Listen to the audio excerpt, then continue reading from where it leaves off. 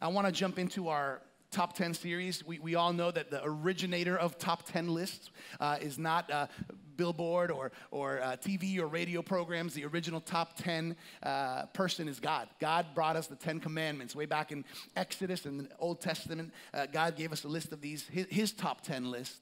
And it's not just a list of, of to do's and to don'ts, it's not just a list of rules. We really truly believe, and this is what we've been kind of emphasizing in this, in this uh, series, is that there are really 10 principles that God has given us that if we live by these principles and put them into practice, they have the potential of truly connecting us vertically to God and connecting us correctly and well with the people around us. If you notice, the first four commandments are, are, are in relation to our connection with God vertically, and the, the last six commandments are in relation to how we live our lives with the people who are around us. And uh, it truly is, we, we've kind of established this, it's not about religion and it's all about relationship. Let's see if you can help me. It's not about religion and it's all about relationship. That's what God's word is about. That's what the Ten Commandments are about.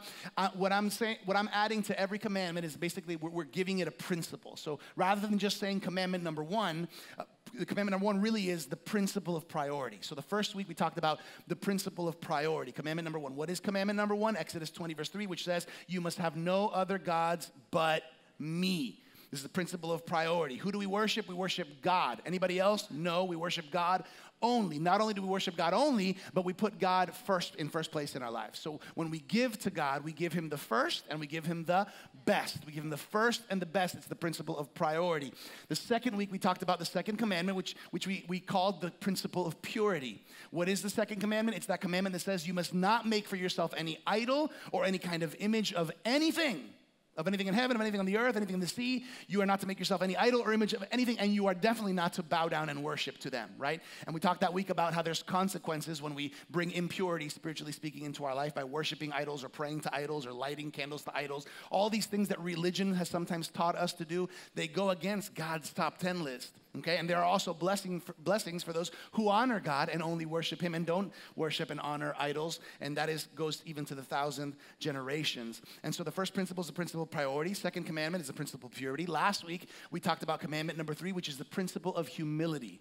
The principle of humility. What was commandment number three? It's the one that says you must not misuse the name of the Lord your God. The Lord will not let you go unpunished if you misuse His name. Another version says you must not use the Lord's name in vain. And we talked last week about how sometimes we are, we are, um, not realizing that we can misuse God's name in the way we pray. We can misuse God's name in the way we prophesy or teach or preach. We can misuse God's name in the way we speak and talk. And sometimes God's name comes out when we're looking to curse or when we're looking to curse someone or something, or even when we're upset or surprised and it has nothing to do with His goodness or His greatness. We're just throwing His name around as if He was just any other person or any other name. And so we talked about um, really honoring God when we speak. And the best way to proclaim His name is truly with praise and gratitude. If we're using God's name, we should be including it with praise and with gratitude. Now, that's going to lead us to today's commandment, which is commandment number four, and it's the principle of rest. If you have your worship guide, it's the principle of rest. And I was thinking about how to kind of introduce uh, today's message and topic to you. Um, this has happened to me a lot, and I don't know if it's happened to you guys. Has it ever happened to you that that that that you're in a season of life or you're, you're, you're going nonstop and you're so tired, and maybe even people tell you, hey, you look tired, and you're like, no, I'm fine.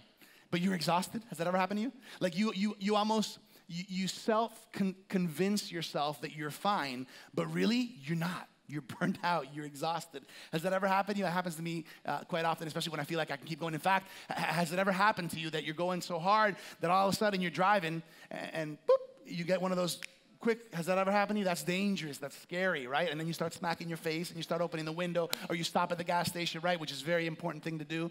I have, I have a, a story about that, which is too long and I can't go into, but, but when I was younger, not good, not good you got to pay attention to the signs, right?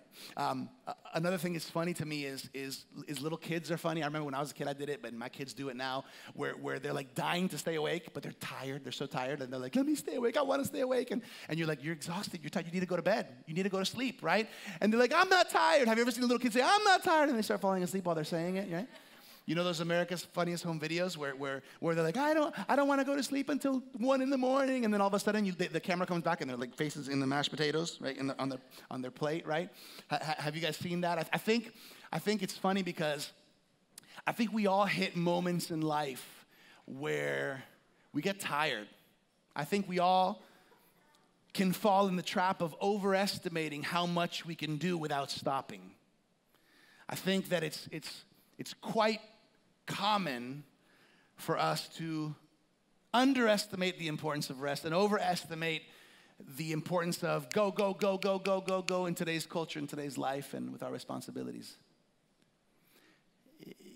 If you notice, most of the time when you ask somebody, hey, how's it going? A lot of times the response is, man, living, you know, struggling through what I'm going through. Or how's it going? Man, I'm trying to get through another day. How's it going? Man, I'm just surviving. You know, hey, how you doing today? Hey, you know, working hard. How you doing, man? I don't have enough time for the things I got to do. These are the common kind of responses. It's very rare to hear, "Hey, how's it going?" Man, I'm completely rested. I feel completely in peace in my soul, in my body, and in my mind, right? It's rare to hear that, right? It's rare. Hey, how's it going? Man, I, I don't know. What, I, can you give me something to do? Because I don't know what to do. It's very rare to hear that kind of response or even give that response in regards to how we're doing or, or what we're, what we're going through. And so, and so I want to talk today about the principle of rest. And, and before we get into God's word, I want to take a moment and pray. Can we pray and ask God to speak to our hearts? You know, it's, it's funny how much we receive or don't receive depending on how our heart is, right? When we're, when we're, when we're, somewhere. And, and a seed is only as good as the soil in which it is planted in. And so today, I'm going to let go of some seeds from God's word. I believe it's good seed. Um, but particularly today, uh, I think it's a matter of how our, our soil is in our hearts and in our minds to receive God's word. Amen? Let's pray, Lord. I pray right now, Lord, that, that you would speak to us through your word. Holy Spirit, you are welcome in this place, Holy Spirit. Work in us, speak to us, speak through us. I pray that the seeds of truth of your word today, uh, that they would be that they would be planted, Lord, and they would fall in good soil in each heart mind and life of those of us who are here present and watching online. Lord, I pray that these seeds would grow, that they would give fruit, and they would flourish. In Jesus' mighty name we pray. Amen. Amen. I, will give this little kind of word of warning. I, th- I think that, that sometimes, um, you know, when God's word kind of hits a spot that's sensitive or that's touchy for us or that's tricky for us or even brings conviction because maybe we realize, man, I, I haven't been fulfilling what God wants me to do. Sometimes we can have an attitude of, well, what does a pastor know anyway, right? Or, you know, or does this really matter? Or, you know, uh, we're in 2019, and I really want you to have a mentality today of what's God's heart behind this principle? Amen. We're going to go over commandment number four, or the fourth principle, the principle of rest. And you know what's interesting about this? This is the longest commandment. In, in other words, in terms of word, words in the commandment, you know, we find the commandments, Ten Commandments in two places, in Exodus 20 and Deuteronomy 5. And so in Exodus 20, uh, verse 8, which is where we're going to start, this is the commandment that has the most kind of words in it. And so God spends a little bit of time on this one. So um, Exodus chapter 20, verse 8, buckle up your seatbelts. It's going to be a fun ride today. It says, Remember to observe, observe the Sabbath day by keeping it holy. Another, another way of saying the Sabbath day is the day of rest, okay? Remember to observe the Sabbath day or day of rest by keeping it holy. You have six days each week for your ordinary work. Okay, pause. I'm gonna rewind. You have how many? Six days each week for what? For your ordinary work, for work. But the seventh day is a Sabbath day of rest dedicated to the Lord your God. On that day, so let's talk about that one day. On that day, no one in your household may do any work. This includes you, your sons and daughters, your male and female servants, your livestock, and any foreigners living among you. For in six days the Lord made the heavens, the earth, and the sea, and everything in them. But on the seventh day he rested. That is why the Lord blessed the Sabbath day and set it apart as holy. Okay, in essence, what the Word of God is teaching us here, and obviously we're talking about the Ten Commandments. We're talking about, you know, God speaking to Moses, Moses bringing the Ten Commandments to the people of Israel. We are God's people today.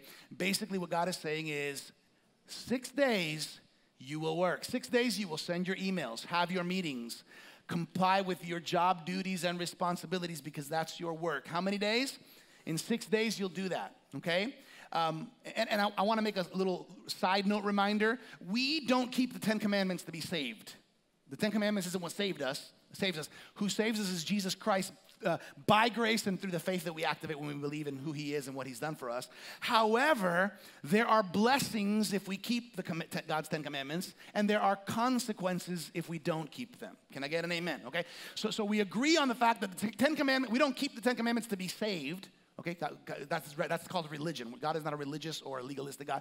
We, we keep them because we know, understand that they're principles that God's given us, and if we follow them, we can be blessed. There are blessings in following God's commandments, and there are consequences to not following them. Okay, so, so here's my recommendation don't follow eight of them and not follow two.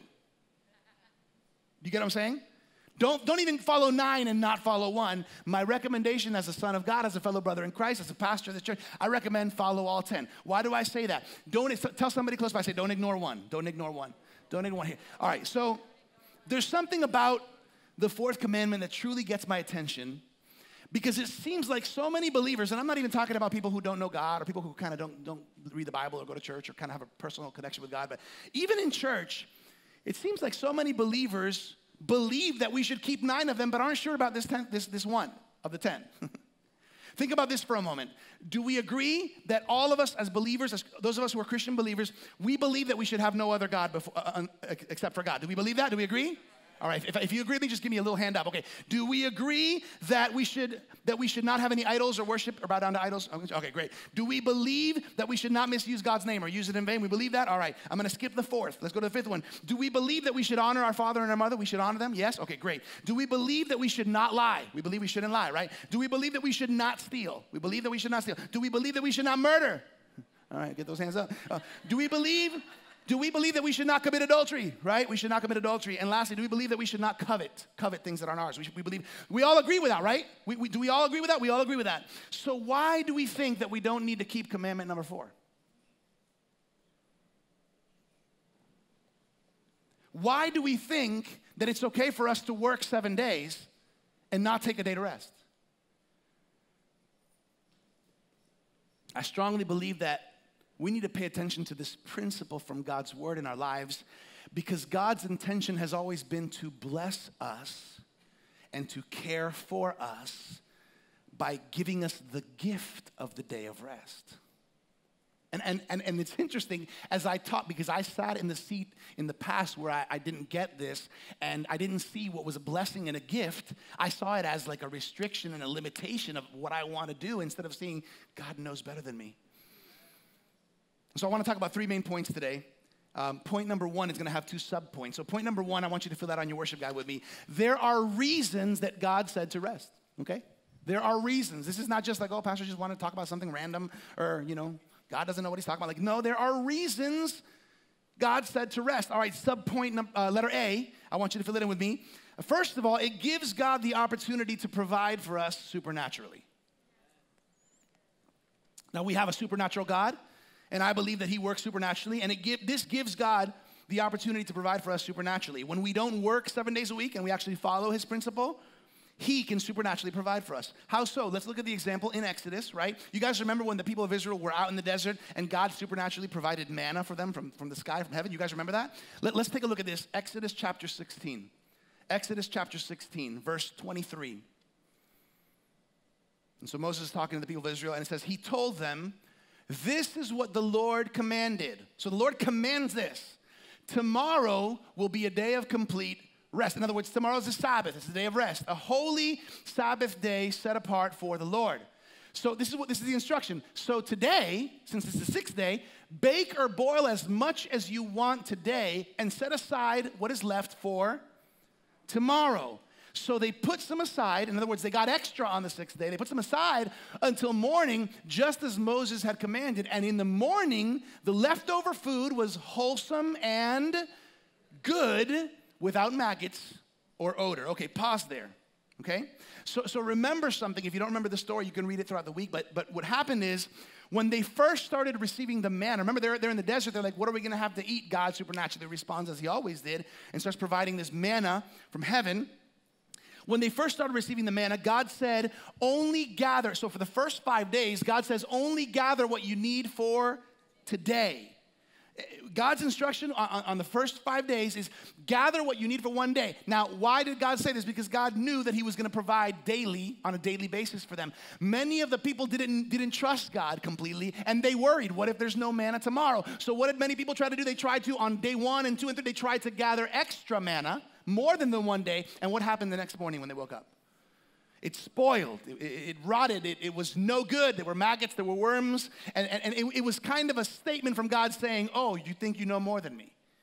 You think you can gather more. You, you think that's actually going to be a provision. Well, actually, no, follow my instructions. But, but interestingly enough, what God's instruction is for the five days is different on day six, because on day six, he says, on day six, specifically and only, you can gather enough for that day and gather some extra for the next day, because on the next day, since it's the day of the rest of rest, you shouldn't be working to do this.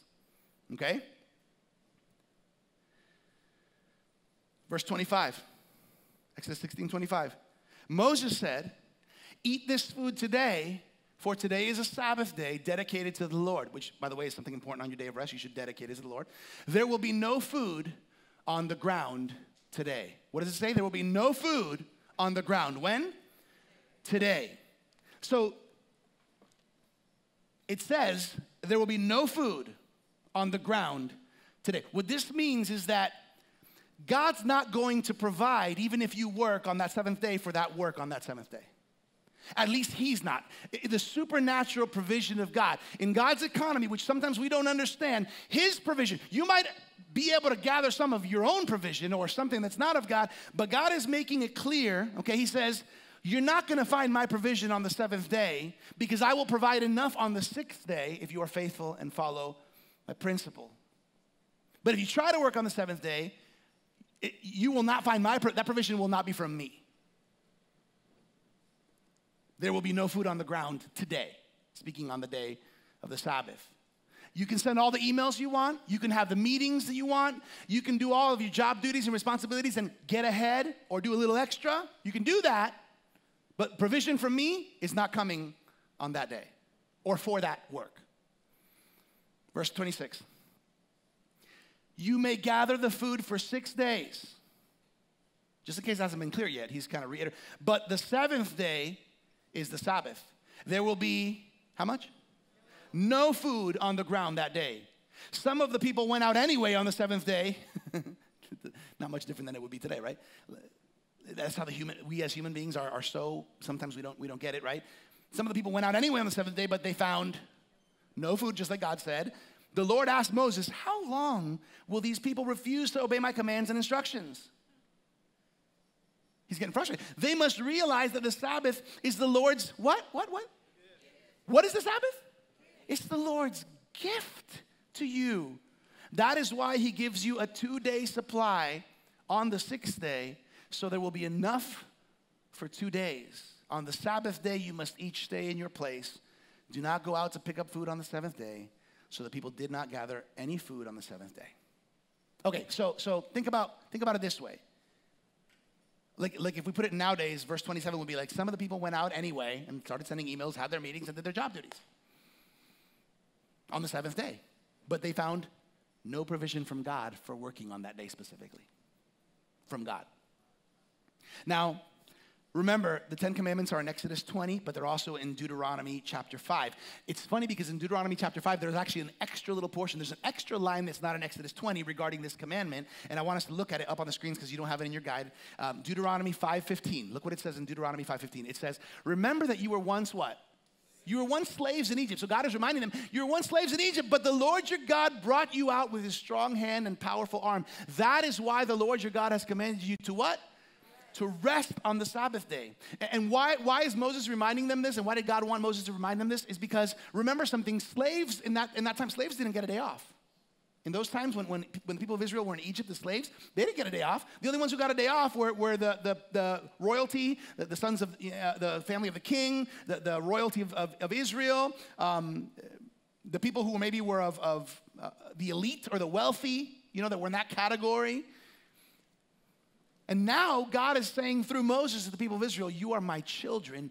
I am ki- the King of kings and Lord of lords. You are the Son of Almighty King. I am giving you a gift that you haven't had for a long time because you were slaves for a long time. And my gift to you is a day of rest. It's a Sabbath. think about it this way nowadays, and, and I know it, it might sound extreme, but think about it this is all of us who work, we're slaves to our meetings every week. We're slaves to the jobs that have to get done. We are slaves to the duties that we have to accomplish. We're slaves to the emails. We're slaves to the, to the responsibilities that we have because we have to do them. We, we have to, if we want the, the business to go well, if we want our work to go, if we want to keep a job, we have to do these things, right? We're committed. But there's something about honoring God with a day of rest, with the Sabbath. It's all throughout Scripture. God is giving us a day. He's providing for us. He's taking care of us. All throughout Scripture, God is trying to give us a day off. It's kind of like when you know, you know, like you know, like you know, your, your little kid, you know, your little four-year-old who wants to stay up all night. I'm not tired. I'm not tired. Boom, hand the ma- face in the mashed potatoes, right? And sometimes I think that's who we, that's, you know, God, I'm good. I'm good. I don't need this. Like, God, this is for people who maybe are, are weak and boom, and, and our heads are falling right in the mashed potatoes. You know, honestly, this is one of those principles that, that just how God works so different than us. It's kind of like tithing. It's kind of like tithing because God can do more with 90% than you and I can do with 100%. And in the same way, God can do more in six days than you and I can do in seven days without stopping. I don't know how it works. I, honestly, my, my human um, uh, intellect doesn't, it doesn't add up. For us, seven days of work equals more work. That's what, for us, humanly speaking. For God, six days equals more with a day of rest.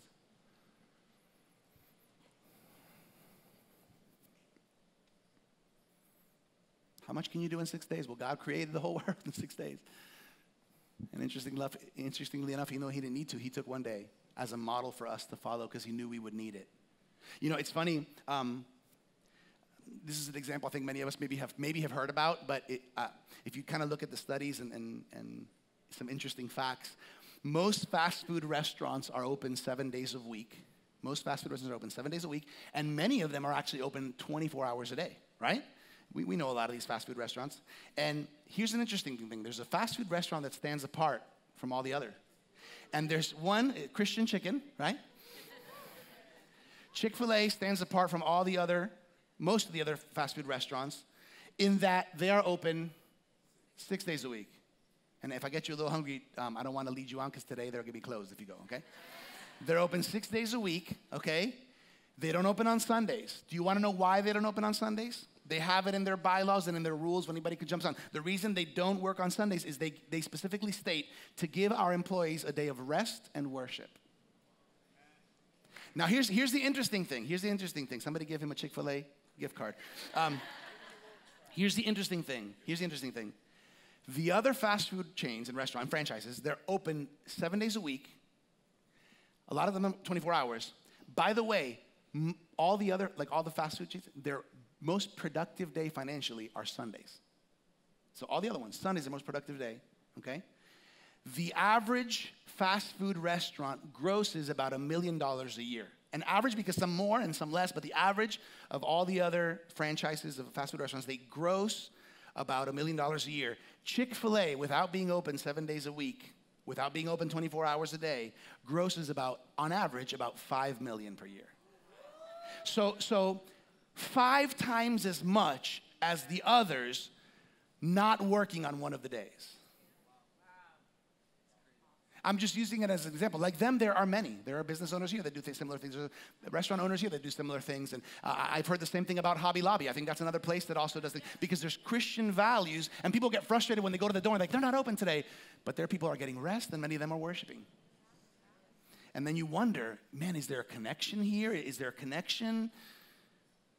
So, a good reason to rest is because it gives God the opportunity to provide for you supernaturally. B, letter B, it gives us the opportunity to rest and be refreshed. Can you guys say the word refreshed? It's, it's even refreshing to say refreshed. Refreshed. We don't say it often enough, right? Look at Exodus 31. Exodus 31, verse 14. It seems like this is important to God. It says, You must keep the Sabbath day for it is a holy day for you. You see, you see, not only is it just a day of rest, but it's actually a holy day. Anyone who desecrates it must be put to death. Now, this is the law. We're, we're, we're obviously living in the grace now, praise God, because there, a lot of you wouldn't be here right now, right? A lot of us wouldn't be here if, if things were still like this. But, but check it out. It says, Anyone who desecrates it must be put to death. Anyone who works on that day will be cut off from the community. You have six days each week for your ordinary work, but the seventh day must be a Sabbath day of complete rest, a holy day dedicated to the Lord. Anyone who works on the Sabbath must be put to death. The people of Israel must keep the Sabbath day by observing it from generation to generation. This is a covenant obligation for when? For all time.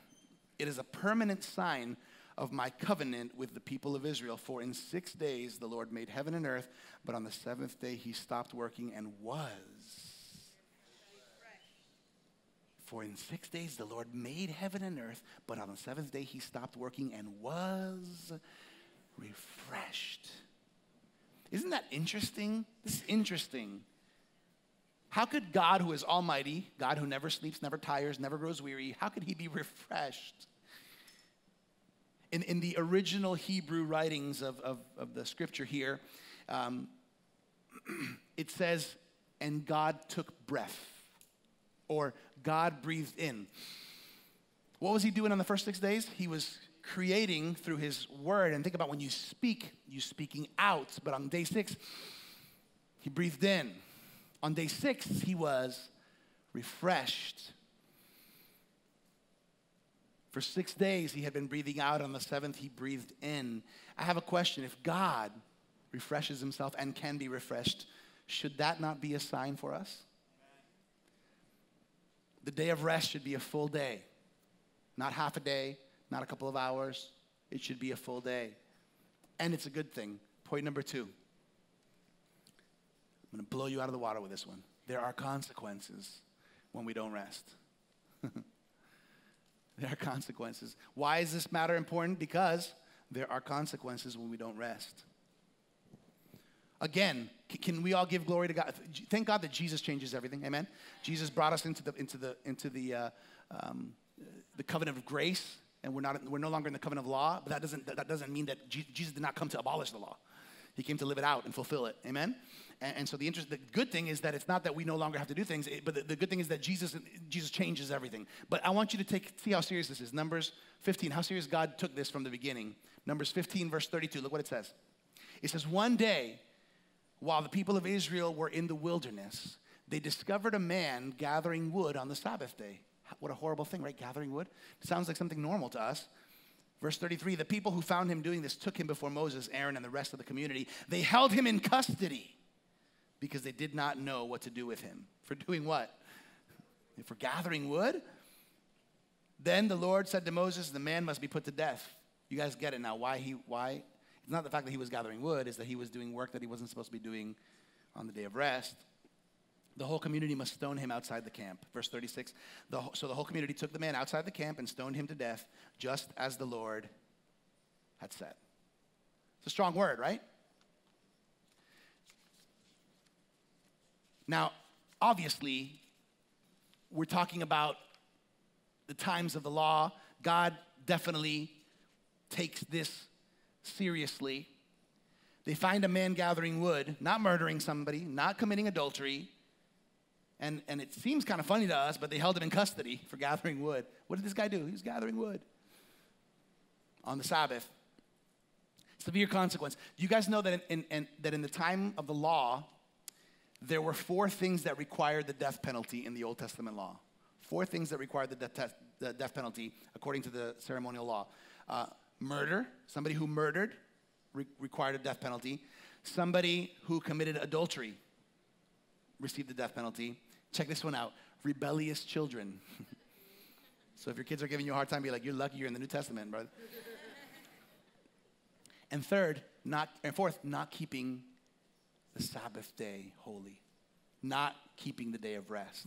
And you might wonder, why would not keeping the Sabbath day be on the same level as murder and adultery and all these things? Remember that each commandment has a principle behind it. And I want you to consider this. Could it be that not resting is actually killing us ourselves physically, little by little? Could it be that many people that we might know or in the news have been passing away prematurely for reasons that really, if we could come down to it, probably were unnecessary? Could it be that sometimes there's damage happening to ourselves for not following and keeping this principle of the Lord? There are consequences.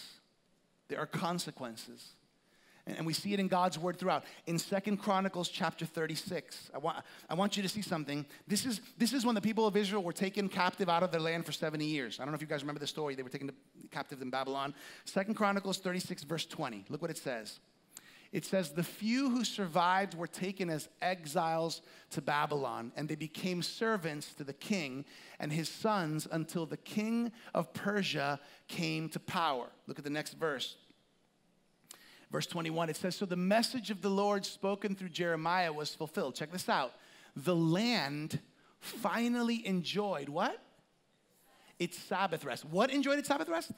The land finally enjoyed its Sabbath rest, lying desolate until the 70 years were fulfilled, just as the prophet had said.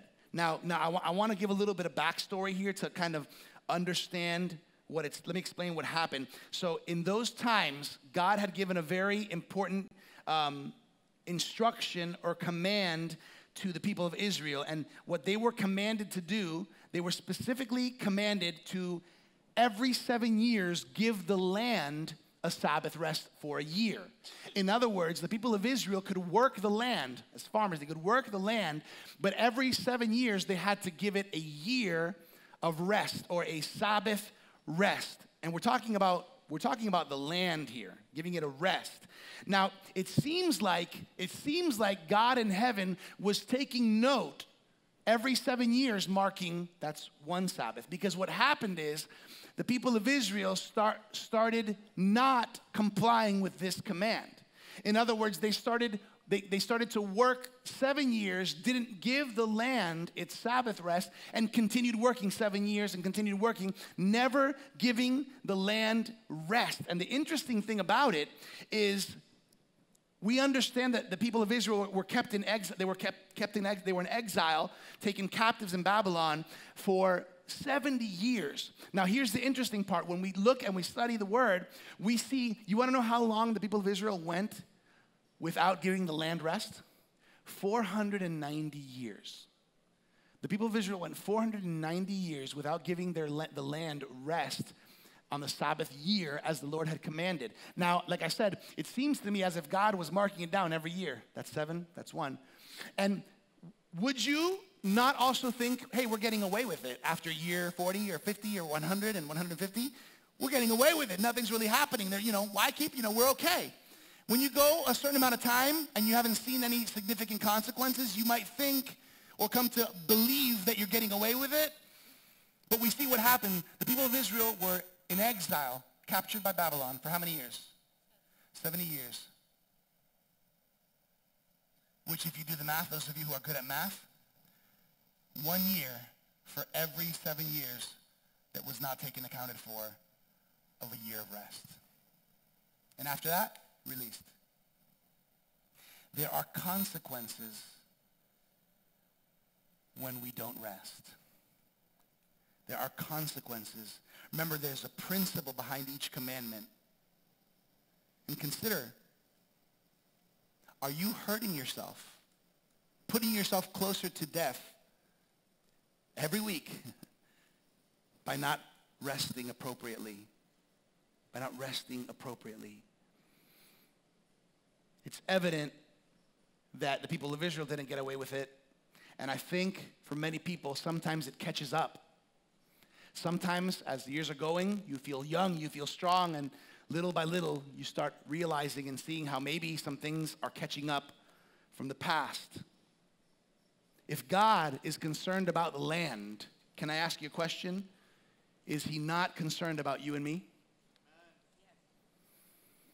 If he's concerned about the land, is he not concerned about us? There are consequences. And I believe some people are suffering some consequences because they're not following the principles that God has given. God has given us a gift, and it is a day of rest. It's not a bad thing, it's a good thing.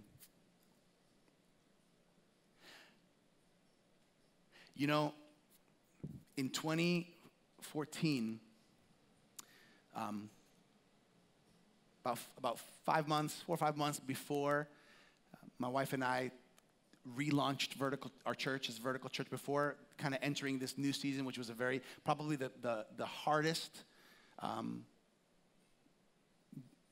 big, kind of big impact season in, in our lives, you know, to this point. And I got a call, I got a call from a friend who called me and he said, hey, hey Verge, you know, uh, we want to see if you and your wife can, can join us on a retreat over here close to Dallas in Texas.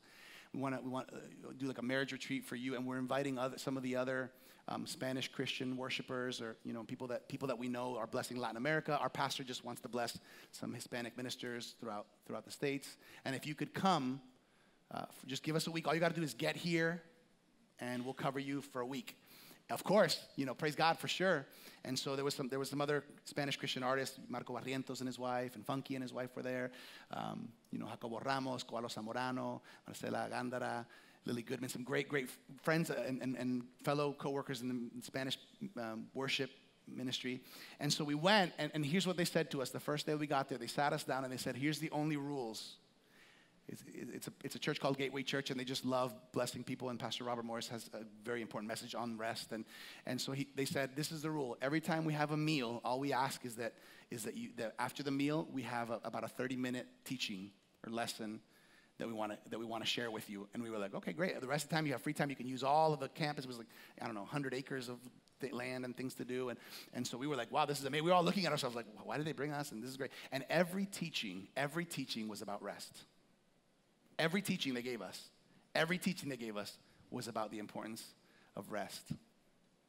And I remember that that impacted me so much because I believe God was caring for me and my wife and preparing us for the season that we were about to enter because He knew what we were going to have to face. We were already facing and what we would have to face. And what happened is the Lord, you know, my initial instinct is kind of like, there's so much to do. It's impossible to get everything done if I don't work all seven days. And God taught me a very important principle on that retreat, which, which, which there I think is when it came real for us. And my wife and I took it so seriously that we do not mess with or play with our day of rest. And I think it was God caring for me, teaching me. Like I think today is God caring for some of us today that maybe haven't heard this message or maybe have ignored this message. I believe with all my heart. I believe that if I would have kept the pace that I was keeping, it would have been trouble for me eventually would have caught up. Point number three there are blessings when we rest. There are blessings when we rest. Look at Mark chapter 2. This is now, now New Testament. This is Jesus. Mark chapter 2, verse 23. Let's read. It says, One Sabbath, as Jesus was walking through some grain fields, his disciples began breaking off heads of grain to eat. And it says, But the Pharisees said to Jesus, Look, why are they breaking the law by harvesting grain on the Sabbath? Jesus said to them, Haven't you ever read in the scriptures what David did when he and his companions were hungry? He went into the house of God during the days when Abiathar was high priest and broke the law by eating the sacred loaves of bread that only the priests were allowed to eat. He also gave some to his companions. Then Jesus said to them, Check out Jesus' words. This is Jesus. The Sabbath was made to meet the needs of people, and not people to meet the requirements of the Sabbath. So the Son of Man is Lord even over the Sabbath. Okay, so, so why is this important, Pastor Verge? I wanna, I wanna just emphasize that we do not have a legalistic God. God is not all about being legalistic and ritualistic and religiosity. No, no, no. Um, this is Jesus himself. And Jesus says, hey, hey, hey, we created, we created, we didn't create man for the Sabbath. We created Sabbath as a gift for man. Do you realize that God could have created a six week, a six day week? He could have created in six days and just started right over, right, right again, boom. But he didn't. He incorporated a day of rest. That seventh day, that Sabbath day, that day of rest has always been God's idea. The Sabbath is God's gift to you. You know, there's a famous saying that says, uh, More than Israel has kept the Sabbath, Sabbath has kept Israel.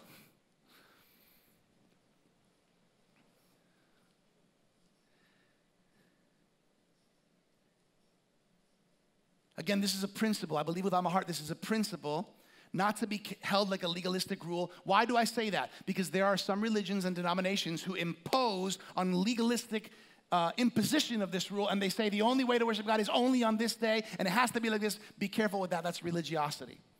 God's heart is understanding that we need a day of rest in our seven days.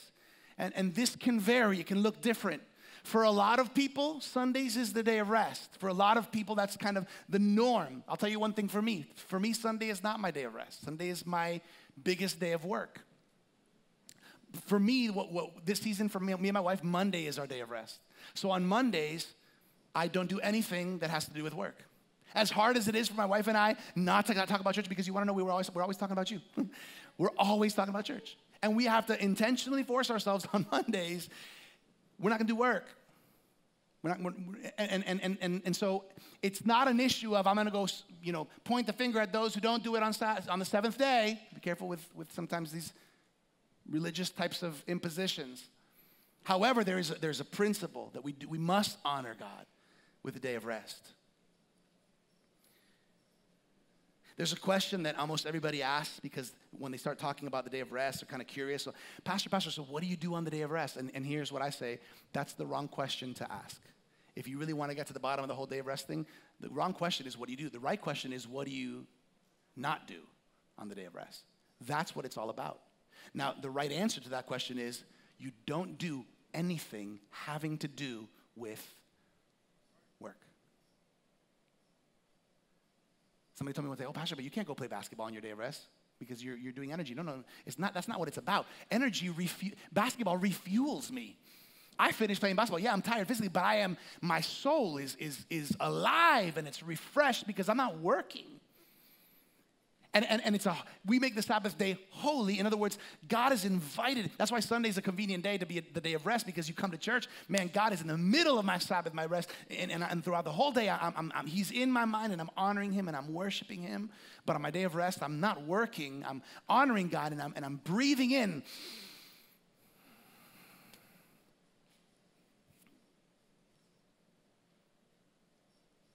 You know, I'll close off with this. I think some people sometimes sometimes we don't get it. And I'm going to use an example that might sound a little crude, but, but I just want to make my point. Sometimes you got to give a strong example to make your point. Um, you know, with regards to the Ten Commandments, you know, JC, JC, you would never ask me on Monday, you would never ask me on Monday, hey, let's go steal something. Right? JC would never do that. JC would never do that. Adrian, you never come to me on Monday on my day of rest, and you, or on any day for that matter, you wouldn't come to me and say, hey, you know, let's go commit adultery. You wouldn't call, ask me to do that. None of you would on any day. Yet, some people might be inclined, knowing maybe my day of rest or anybody's day of rest, come and say, hey, hey, just let's do this. Let's work.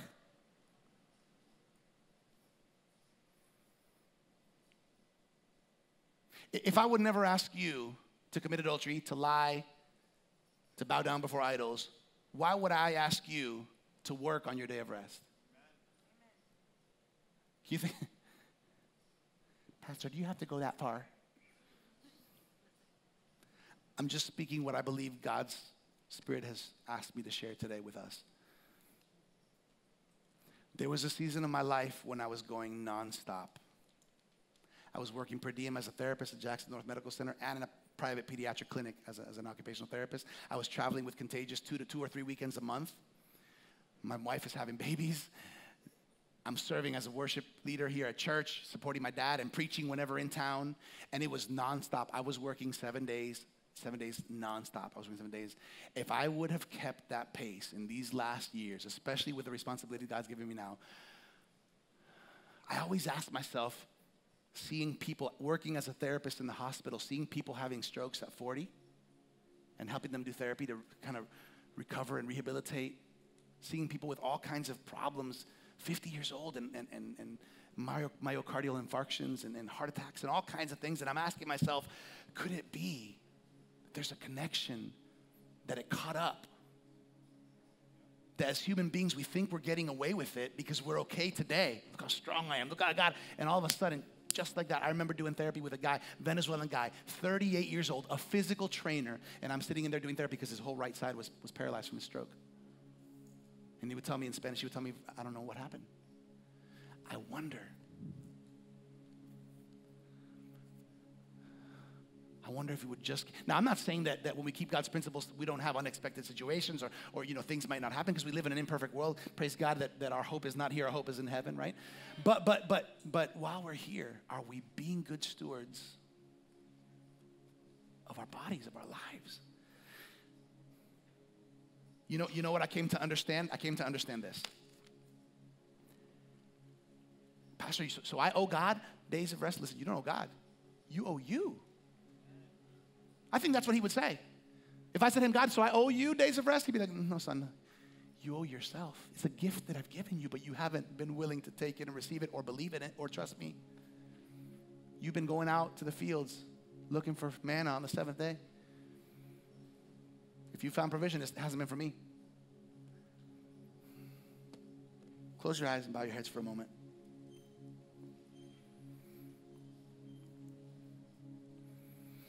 If you're not in the habit of taking a day of rest, maybe it's because nobody ever taught you. Maybe you never saw the importance of it from God's word. Or maybe you've heard it, but you just haven't really believed it. Maybe you just, maybe I just don't trust God enough to believe that six days of work will be enough. By the way, if you have the opposite and you work one day and rest six days, that's another problem. That's another message. So, what is the Holy Spirit saying to you through this message today? Some questions to consider. Are you practicing this principle of keeping the Sabbath day holy? Or are you breaking it? It's either one or the other. Is your health physically suffering from burnout? Are there symptoms and signs that you need to pay attention to? Are your relationships suffering? And maybe there's a connection because of your nonstop patterns, your marriage has been struggling. Because you justify, I'm working hard to provide for my kids, but your kids have no time with you. Maybe they could maybe they could care less about those extra couple hundred bucks because of an extra day of work and actually would appreciate a couple hours of FaceTime with you.